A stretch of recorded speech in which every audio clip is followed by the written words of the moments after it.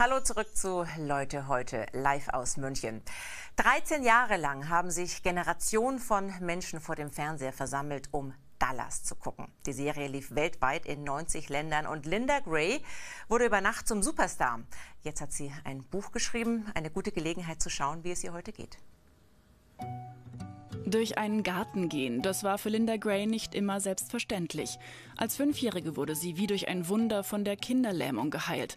Danach wurden ihre langen Beine zu ihrem Kapital, das sie lebenslang pflegt. Einfach laufen, tanzen, sich bewegen und das Leben genießen.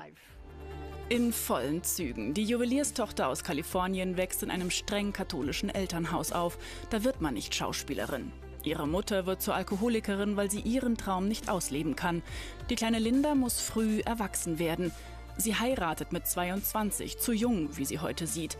Ihre Ehe mit Ed Thrasher ist nicht glücklich. Also habe ich mich voll auf die Kinder konzentriert, ihnen ein Leben aufzubauen. Wir hatten eine Farm auf dem Land mit Tieren. Das wurde mein Leben, der erfüllende Teil, den ich in der Ehe nicht hatte.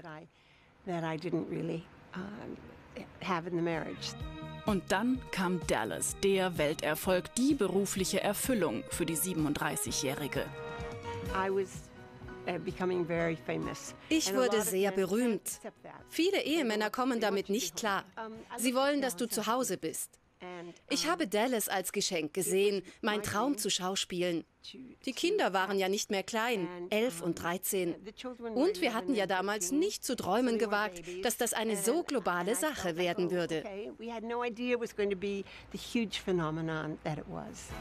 Der Ehemann ging, Larry Hagman kam. Sue Ellen und J.R. im Fernsehen ein Ehepaar, im Leben sehr eng befreundet.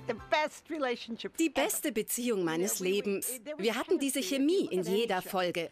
Larry und ich waren wie Kleber. Mit ihm war es wie in einem Tennisspiel. Wir spielten uns die Bälle einfach zu, geradezu magisch. Es war wunderbar, mit ihm zu arbeiten. Offen und ehrlich geht Linda Gray durch ihr Leben. Sie ist ein durch und durch positiver Mensch, der sich seine Überlebensstrategie hart erarbeitet hat. Was ich in schwierigen Situationen tue und immer getan habe, ich vergegenwärtige mir, was eigentlich passiert ist, wie mich das Geschehene beeinflusst. Dann, und das nenne ich die Trampolintaktik, falle ich erstmal, gehe durch das Tal und komme dann wieder hoch, denn du kannst nicht immer im Schmerz leben. Ich habe für mich die Philosophie gewählt, aus Krisen gestärkt herauszugehen. Jedes Leben ist anders. Ich bin dankbar für alles, was mir widerfahren ist. Die Straße zu Glück und Weisheit ist immer eine Baustelle, sagt Linda Gray. Sie hat 75 Jahre ganz gut gelernt, nicht darauf zu straucheln.